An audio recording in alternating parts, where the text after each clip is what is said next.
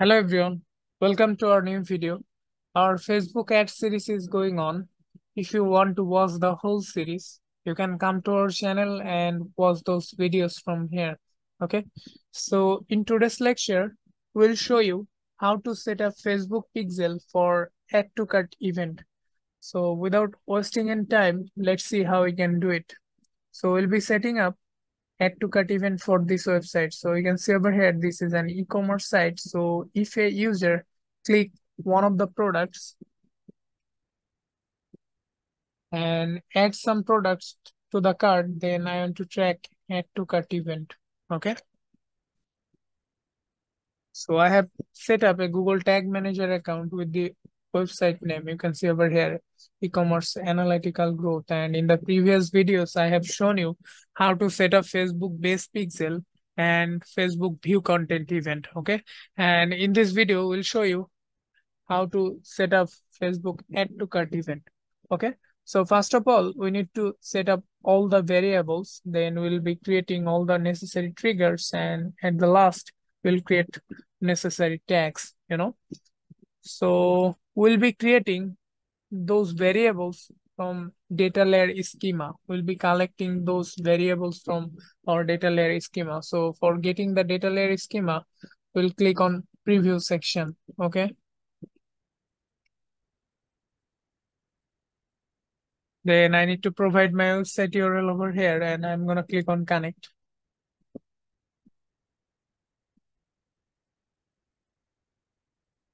And if I scroll down and select one of the products, like I'm going to select this one. And I will add this product to the cart. Then I'll go to the tag assistant. You'll see an add to cart event is firing. So I'm going to click on it and I'll go to the data layer section. And if you see, this is the data layer schema for add to cart event. Okay, so if you have seen my previous video where I have shown you how to set up uh, view content event. Okay, so the data layer schema for view content and add to cart are same. You can see over here. So e-commerce and under e-commerce we have items and inside items we have all the necessary uh, parameters like item ID, item name, price, you know. So if I take items uh, from this section, then all the necessary parameters will be covered. Okay. So if you don't know how to read data layer, then uh, see my previous video where I have shown you uh, I how to create data layer variables from this schema. So what you need to do, you need to take e-commerce, then items dot zero dot item ID. Similarly, for item name, e-commerce dot items dot zero dot item name, and for price, e-commerce dot items dot zero dot price. Okay, so this is the procedure. As I already uh, created all the necessary variables for view content. So I don't need to create another variables for add to cart because those schemas are same for add to cart and view content. So if I try to show you, then if I click on item name, item name is basically product name, you know. So you can see over here e-commerce.item.0.item name. So if I go to the data layer section, then you will be able to see e-commerce dot items, then this is uh, an array. Item is an array and an array's object starts from zero. That's why I have uh, given zero over here, you know, e-commerce dot item dot zero dot item name. So this is for item name. And similarly, if I go to the item ID, then you'll be able to see e-commerce dot items dot zero dot item ID then if I go to the item value, then you'll be able to see e-commerce dot item dot zero dot price. So price is basically value over here. And currency is basically e-commerce dot currency. So if I go to the data layer, you'll be able to see e-commerce dot currency. So currency is inside e-commerce object. Okay. So this is how we can read data layer and create all the necessary data layer variables. Okay. Perfect. So we have created all the necessary variables. Then we will go to the trigger section. We'll create a trigger for add to cart event. So I'm going to click on new and name the trigger as add to cart trigger. Okay, perfect. Then I'm going to choose trigger configuration as custom event and I'll go to the data layer section and if you see the event name is add to cart. So I'm going to copy the exact naming sequence from here and paste it in the event name section. Okay, perfect. Then I'm going to click on save. Then I'll create tags. Okay, so I'll be clicking on new. Then I'll name the tag as Facebook add to cart event.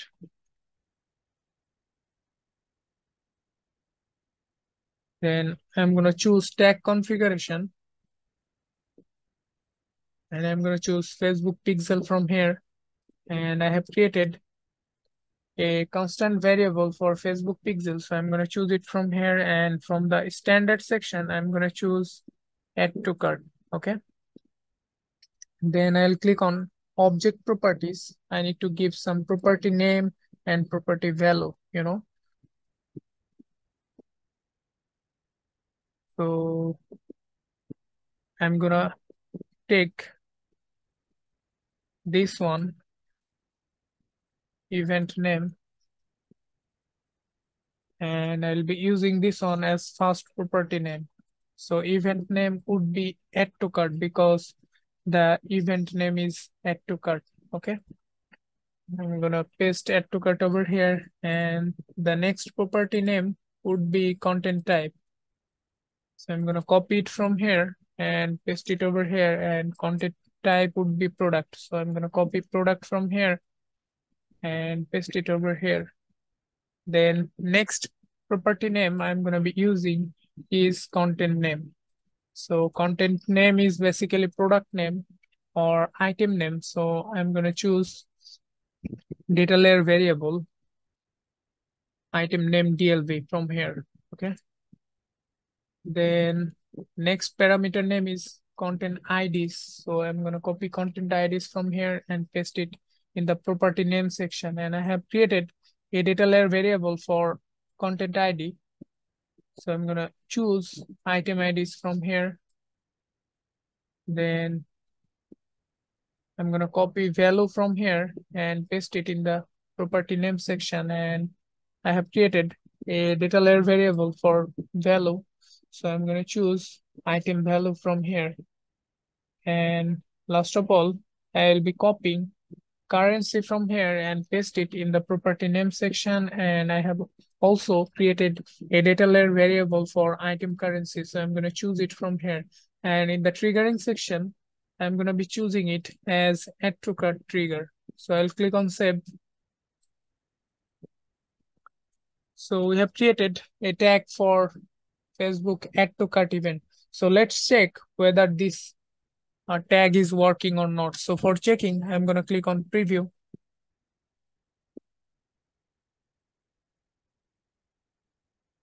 Just wait a little bit. I'm going to click on continue. Then I'm going to choose one of the products. For example, I'm going to be choosing this one.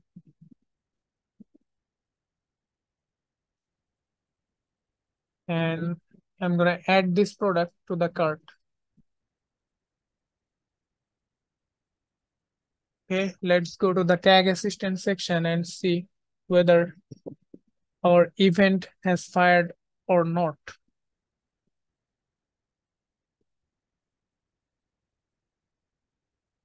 I'll click on add to cart again.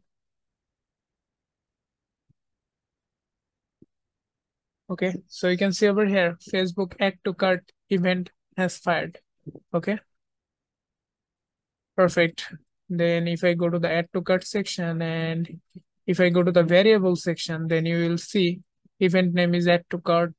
Facebook pixel is this one, item currency is USD. So if I go to the product, then you can see the product currency is in USD. Okay. Then item currency is USD. Okay. Item ID 229. Item name blue denim shorts. So if I go to the item name section, you can see over here blue denim shorts and the product value is $130. So if I go to the value section, you can see item value is $130. So everything is working fine. Everything is working properly. Okay. So this is how we can set up Facebook add to cart event, you know. So yeah, that's it for this video. Hopefully you have liked our video. If you like our video, then you can subscribe our channel, follow our page. You have a good day. Bye bye.